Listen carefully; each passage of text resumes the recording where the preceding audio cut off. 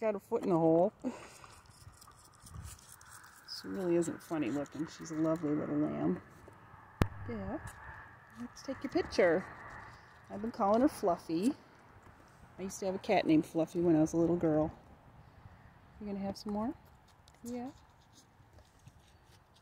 She is going to be a big sheep, aren't you? You way up high? Yeah.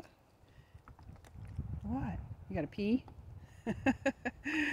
oh, there goes the foot. Here we go. Come on, here. There you go. Sorry. It's my little girl. Oops, she keeps losing her foot in the holes. I gotta go.